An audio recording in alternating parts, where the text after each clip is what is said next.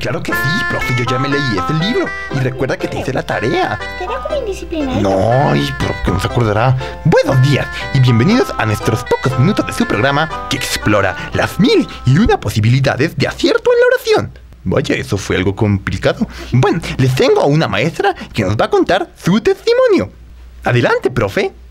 ¿Cuál, profe? Maestra Marta. Marta, señor Mondongo. Se demora más y se expone menos. Ay, yo sabía que era una mala idea invitar a mi profe de primaria. T-O-I, Mondongo. T-O-I. Bueno, profe querida, cuéntanos tu testimonio. Niñito, que es que bueno, bueno, tan pronto termine el programa le enviaré una nota a tu padre para que se acerque a la rectoría. Le haré una citación. Pero, profe, ya terminé el colegio hace mucho tiempo. Voy, tengo que buscar otros invitados.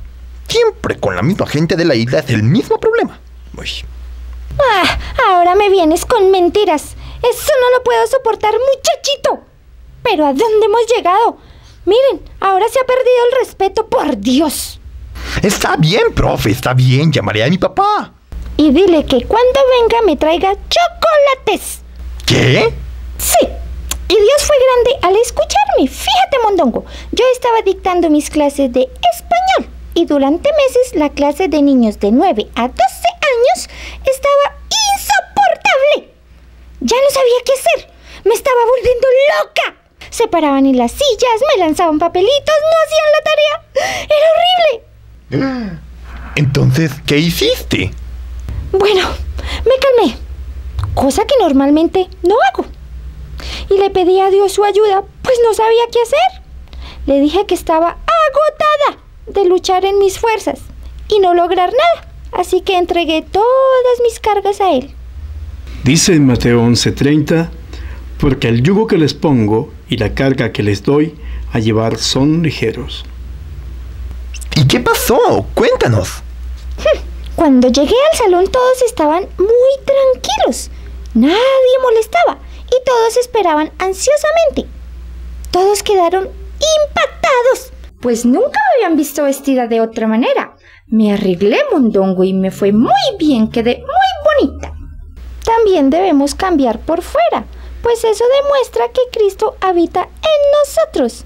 Y sé que a Él no le gustaría habitar en una casa vieja y anticuada. Mm, bueno, Comencé mi clase y vi que Dios estaba apoyándome y eso me dio seguridad para ejercer mi autoridad, pues llevo 20 años ejerciendo la docencia. Sí, eso ya... Mm, como mi clase de español en parte es aburrida, Dios me dio una idea. Comencé a leerles historias. Mi narración les gustó y todos quedaron metidos en el cuento. Ahora cada semana hacemos lectura de los cuentos que mis alumnos escriben y ya hay varios chicos que desean publicar sus cuentos. Y ahora la clase de español es su favorita. ¡Hey! A pesar de todo, la clase de español era mi favorita. ¿No te parece maravilloso, Mondongo? Ojalá hubiese tenido un alumno entregado en esa época a los libros. ¿Pero yo qué? ¿No me escuchaste? A mí me encantaban tus clases. Ay, bueno. Y vemos que Dios te regaló esa estrategia para con tus alumnos.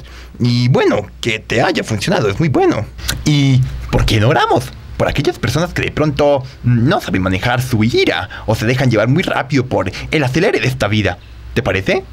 Mm, querido Dios, yo quiero agradecerte en este momento por mi trabajo y gracias por todo lo que me has enseñado a través de él.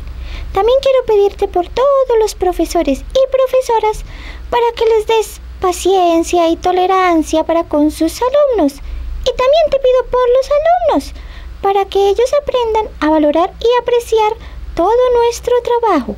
Gracias por tu cuidado, por tu protección y sobre todo porque siempre respondes a nuestras oraciones. Amén. Vaya, esa oración estuvo genial. Sí, hay que tener paciencia. Aprender a pedirla. Así como me toca a mí pedir por la de mi papá. Ay, es que mi papá hay veces me saca. ¿Y dónde está tu padre? No lo veo por ningún lado. ¡Ja! Dice que el inventor de las cabinas de teletransportación. ¡Ja! Y nunca vino a una reunión de padres. Tan viejo y en las mismas. Pero, profe, él está atendiendo hoy un asunto muy importante. ¡Ja! Me cansé de esperar a ese viejo aburrido. Voy a aplicar la ley como debe ser. ¡Mondongo!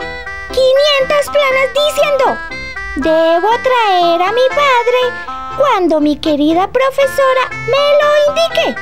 A ver, a ver, ¿qué esperas? A ver, comienza ya. O no llegarás al mediodía. Bueno, esto ha sido todo por hoy. Si deseas contarnos una fantástica historia de cuando oras a Dios, envíanosla a mi oración es arroba yahoo.com. Esto fue ¿Por qué oramos? Dios te bendiga. Ay, pero profe, ya soy demasiado grande para hacer esas planas. No, no, no, no, usted todavía puede. Pero aquí no tengo ningún cuaderno ni Claro, nada. como siempre, mal estudiante. Profe, yo fui el mejor de la clase. Indisciplinado. Ah, ah, ah, papá, papá, ven, ayúdame. Sí, sí, que venga, que venga a ayudarme. No, ya soy muy grande, profe. Yo ya no voy a hacer planas.